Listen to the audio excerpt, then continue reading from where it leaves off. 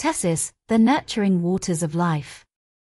In the mystical world of Greek mythology, where the forces of nature were personified as divine beings, Tethys emerged as a figure of profound importance.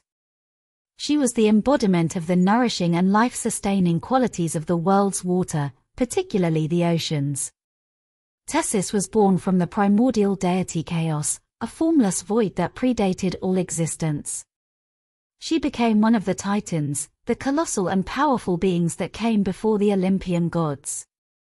Her essence represented the vast and boundless oceans that encircled the world, and her name itself means nurse or grandmother, signifying her nurturing role in the natural order.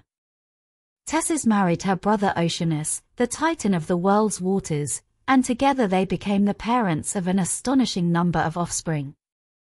Their children were known as the Oceanids and Potamoi, the nymphs and river gods who personified the various rivers, streams, and bodies of water across the earth. These divine beings embodied the essence of water and its importance to life.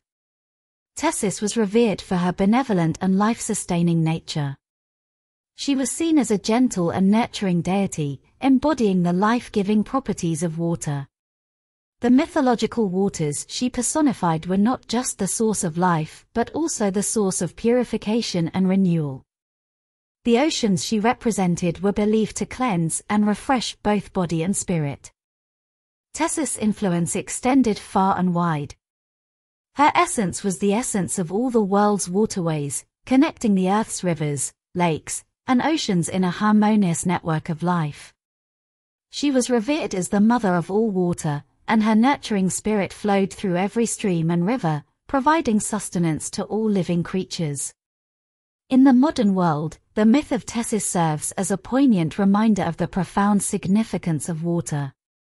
It encourages us to appreciate the life-giving properties of Earth's oceans, rivers, and lakes, and the vital role they play in sustaining life.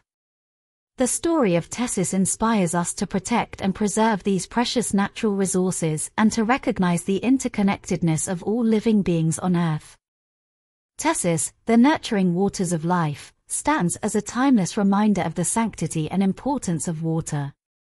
Her mythology continues to resonate in our understanding of the natural world and the enduring connections that bind all living creatures.